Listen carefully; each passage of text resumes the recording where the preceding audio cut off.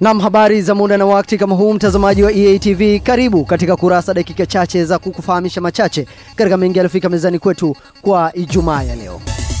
Mahakama ya rufaa nchini Tanzania leo imemrudishia ubunge aliyekuwa mbunge wa Arusha mjini kupitia chama cha demokrasia na maendeleo Chadema, Mheshimiwa Godbless Lema. Jopo la majaji watatu waliotoa hukumu ya kesi hiyo likiongozwa na Jaji Natalia Kimaro limesema kuwa kimsingi watu waliopinga ubunge wa Bwana Lema hawakuwa na haki ya kisheria kufungua shauri hilo.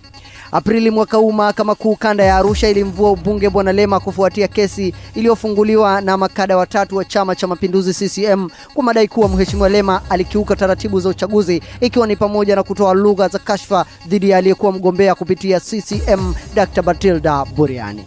Aidha, katika maelezo yake, wakili wa Mheshimiwa Lema, mbunge wa Singida Mashariki, wakili Tundu Lissu amepongeza maamuzi ya mahakama ya rufaa kwa kutoa hukumu ya kesi, na hapa anaeleza zaidi. Uamuzi wa leo mahakama ya rufani ni hatua kubwa sana katika ujenzi wa demokrasia ya vyama vingi katika nchi yetu. E, una, unaondoa unaondoa tatizo kubwa la mamluki kutumiwa na wagombea walioshindwa kuvuruga maamuzi ya wapiga kura.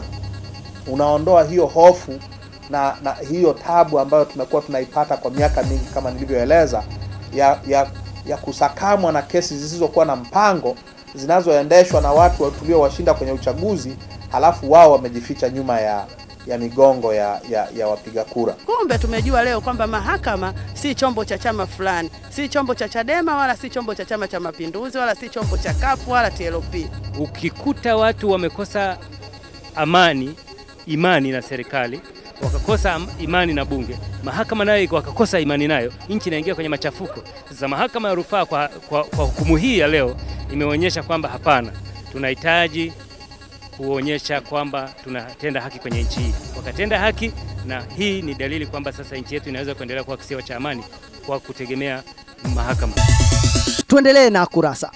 Jukwaa la Katiba Tanzania limeendelea kusisitiza tume ya ukusanyaji maoni inayoongozwa na Jaji Joseph Sinde Warioba kutoa fursa ya matangazo ya redio na televisheni kuwa na wakalimani na kuwekwa katika namna ambayo itaeleweka kwa watu wenye ulemavu.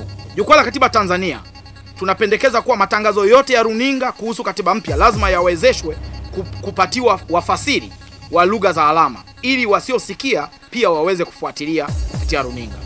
Pia hiyo iwe kwa matangazo na machapisho yote katika magazeti na vijitabu na vipeperushi. Kwa sasa vipeperushi na machapisho ya Tume ya Mabadiliko ya Katiba vyote vimeshindwa kufikisha ujumbe kwa Watanzania wenye ulemavu wa kuona na kusikia. Kundi jingine ambalo halijatendewa haki hata kidogo ni Watanzania walioko magerezani wakiwa kama wafungwa na mahabusu. Aidha, jukwaa la katiba limeendelea kuhakikisha kuwa linapingana kwa namna moja ama nyingine katika kuwafichua watu wote wanaoingilia mchakato wa kuzuia wananchi kutoa maoni yao kikatiba, ambapo imewapatia baadhi yao hati za kuwa maadui wa kupatikana kwa katiba mpya, wakiwemo baadhi ya wakuu wa wilaya za Monduli na Meatu. Tumalizie kurasa kwa hili.